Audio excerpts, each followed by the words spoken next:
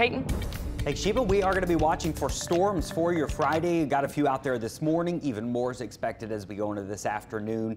And then things are improving for the weekend. Here's what today's rain chances look like. Spotty storms around right now, and then more widespread storms as we go into the afternoon and early evening hours. So as we go out to dinner tonight or you're getting off work, Keep an eye on the weather. Check in on Channel 4, our app. Get it. Follow radar because we are expecting some storms and a few could be on the strong side today. Here's what it looks like this morning. We are tracking some storms popping up here in the metro. I've seen some lightning on our tower cam looking off towards Westwego, Luling, Boutte, River Ridge, uh, Harahan getting some downpours, but the worst of it right there, right on the parish line of St. Charles and Jefferson and drifting down towards the south. Also a little downpour closer out towards the east. That is trying to really not move all that much. Uh, at all. It's just kind of sitting there, but we're parked in between here in the city, so not a lot going on in New Orleans.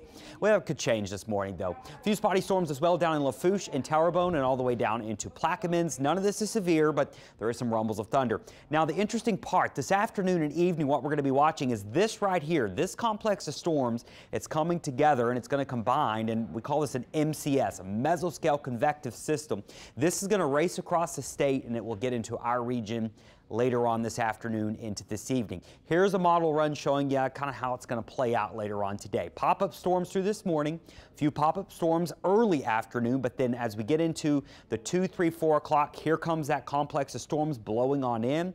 Notice some of these will be on the strong side. This will be during the hottest part of the day. They will have plenty of fuel to work with, and as they blow on through, they could produce some damaging wind gusts and some other uh, threats as well. Notice by 7, 8 o'clock, the worst of it is winding down. So once again, afternoon into the early evening. Severe weather threat, most of us are under a level two, but we've now included a level three. This is just for the farther north shore and into Mississippi. This is where the greatest potential to see the damaging winds exists, but everyone could see some strong winds. Some hail is possible. We saw some hail yesterday, and even an isolated tornado or two cannot be ruled out. So just stay weather aware this afternoon. That's the main messaging here. Is everyone going to see crazy weather? No, but there is a chance. So as we go through the daytime and even into the evening, check in. Once again, get the app, follow radar and the updates there. The great news is things do improve this weekend. If you're going to be out Saturday, hot and humid, a few storms are possible on Saturday. Look at Sunday, though.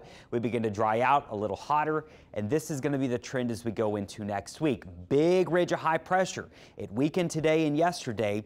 Well, it's re-strengthening back Saturday and Sunday, which means rain chances are going to go back down and temperatures are going to stay pretty steady, actually go up a little little bit. With rain around today, I think we get up to about 90, still hot, but not as hot as we have been. Notice that mid 90s are going to return as we go into next week with heat index values well into the triple digits and just not a whole lot of rain into next week either.